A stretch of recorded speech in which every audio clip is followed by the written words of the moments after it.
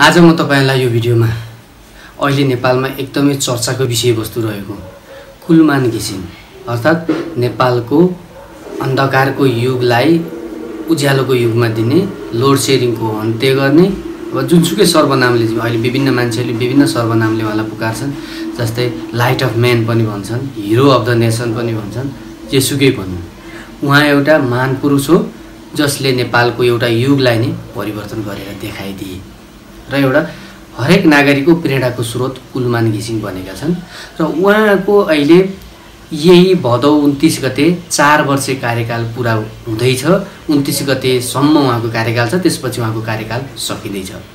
र उहाँको कार्यकाल सकिने लाग्दै गरेको अवस्थामा अहिले नेपाली मिडियाहरूमा नेपाली सोसाइटीमा र हरेक जनमानसमा अब फेरि कुलमान घिसिङ विद्युत प्राधिकरणको सिओको रूपमा हामीले देख्न पाइन्छ कि पाइन्न भन्ने कुराहरू चर्चा र चर्चाको विषयवस्तु बनेको छ। सोसल मिडियाहरूमा विभिन्न पो ट्रोलहरू बनाएर विभिन्न पोलहरू बनाएर गुलमान घिसिङको पक्ष र पक्षमा आम जनसमुदायहरूको जनमत देखिन्छ।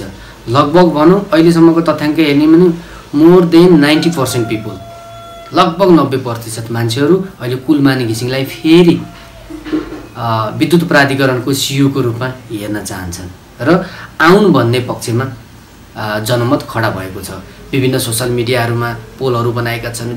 अब अहिले प्ले कार्ड बोकेर सडकमा समेत यता गदा मान्छेहरू अहिले कुलमान घिसिङ चाहियो भनेर हिँडिरहेको अवस्था छ। र यो यो अवस्थामा अहिले ने नेपालका मिडियाहरूले अलिकति कन्ट्रोभर्सी फैलाएको पाइन्छ। कुनै मिडियाहरूले कुलमान घिसिङका हुँदै नभएका कुराहरूलाई नि बढाइ चढाइ गरेर अब उसलाई चाहिँ विभिन्न आरोप प्रत्यारोपहरू गर्ने कुराहरू पनि देखिन्छ। र कतिपय मिडियाहरूले उहाँको वास्तविक कुराहरू पनि के अरे जनता सामु ल्याएको पाइन्छ। त्यस कारणले अहिले मैले यसो विचार गर्दा सोसियल मिडियाहरू हेर्दाखेरि विभिन्न वाद विवादहरू यसको बारेमा चलिरहेको अवस्थामा वास्तविकता के छ त? जनताले कसरी थाहा पाउने? त्यो वास्तविकता आज मैले तपाईँलाई यो भिडियोमा दिने प्रयास गरेको छु। हो कुलमान घिसिङ किन अब कुलमान घिसिङको आउने सम्भावना कति छ त? नेपाल विद्युत प्राधिकरणको सिओमा हुनु हुन त उनको चार वर्ष कार्यकाल पुरा भयो सफलता रूपमा पुरा भएको छ।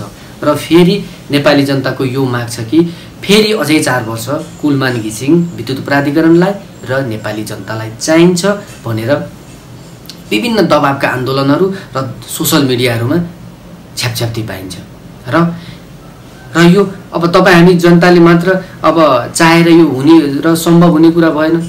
यसका लागि नेपाल सरकारले अहिलेको तत्कालीन नेपाल सरकारले र नेपाल सरकारको प्रधानमन्त्री र अहिलेको ऊर्जा मन्त्री जनार्दन शर्मा प्रभाकर उहाँहरूको बिचमा एउटा समन्वय भएर उहाँहरूले नियुक्ति नगरेसम्म कुलमान घिसिङ फेरि नेपालको अथवा नेपाल विद्युत प्राधिकरणको सिओको रूपमा हामीले देख्न पाउने छैनौँ। त्यसका लागि ठाउँ ठाउँबाट तपाईँको जनमानसहरूले आम पब्लिकहरूले अहिले उहाँको फेरि पुनरागम पुनरावगमन हुनुपर्छ फेरि उहाँको रिनियुक्ति हुनुपर्छ भनेर दबाब दिइरहेका छन्।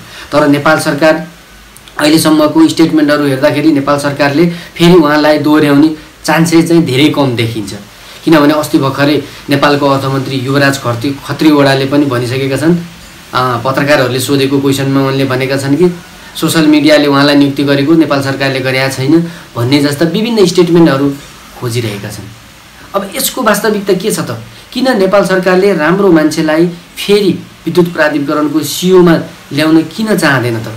वास्तविकता के छ भने नेपालका जुनसुकै राजनीतिक संस्थाहरू जुनसुकै राजनीतिक पार्टीहरू आए पनि कता न कता बायस रूपमा माफियाहरूले उहाँलाई उनीहरूलाई चलाइरहेको देखिन्छ। विभिन्न माफियाहरू जस्तै अब विभिन्न अहिले तपाईँ हामीले सोसियल मिडिया र न्युजहरूमा सुनिरहेका छौँ।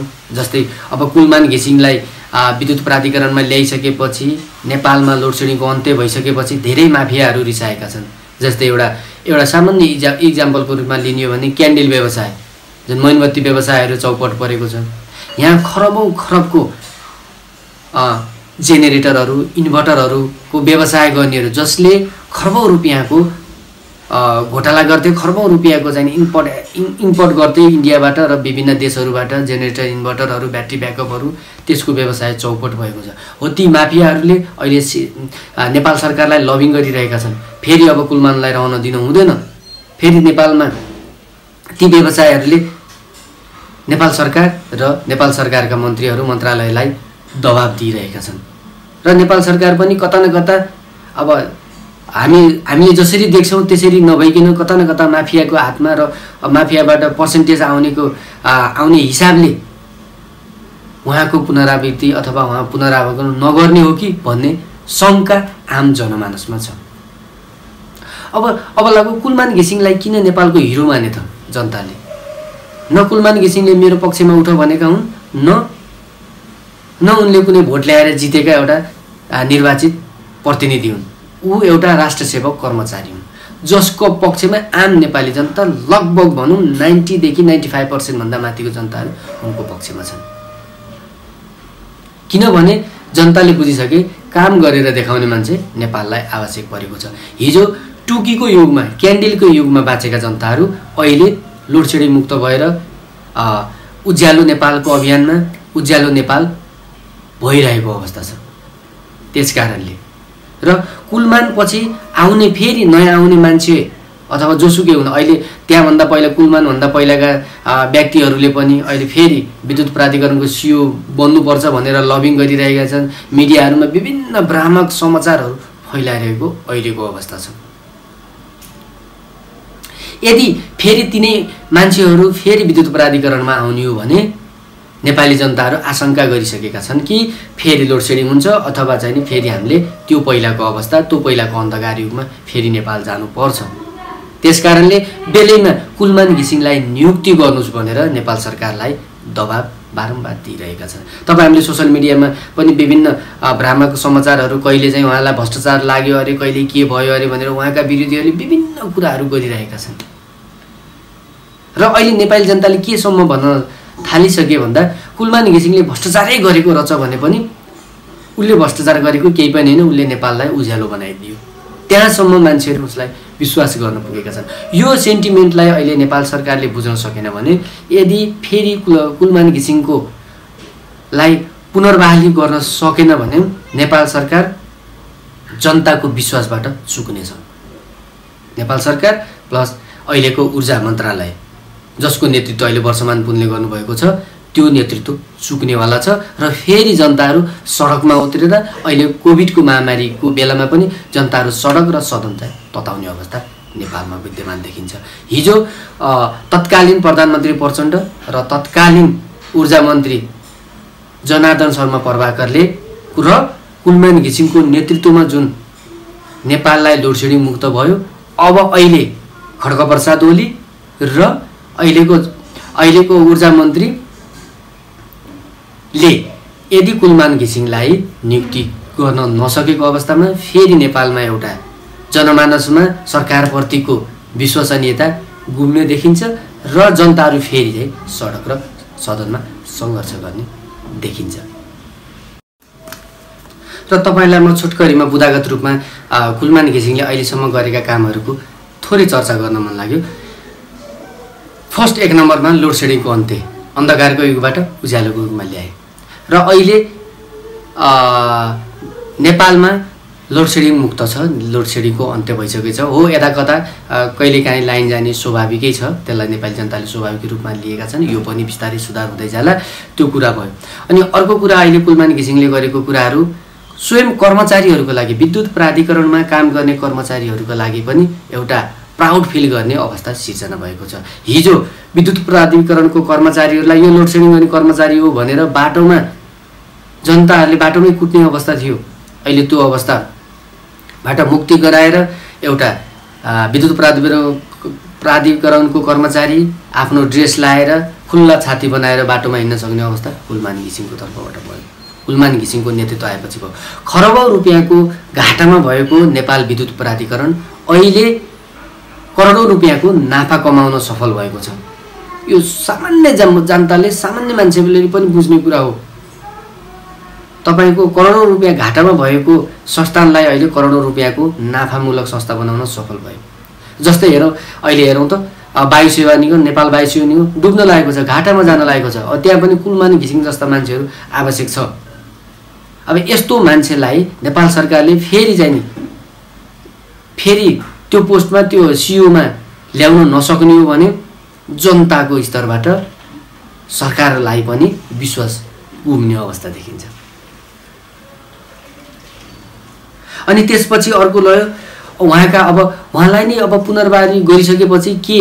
अब के फाइदा हुन्छ त अब नेपाली जनतालाई? लोडसेडिङ मुक्त त भइसक्यो। अर्को के हुन्छ त भन्ने जनताहरूमा आशंका छ भने फेरि नयाँ मान्छे आएर फेरि नेपालमा लोडसेडिङ गरिदिने हो।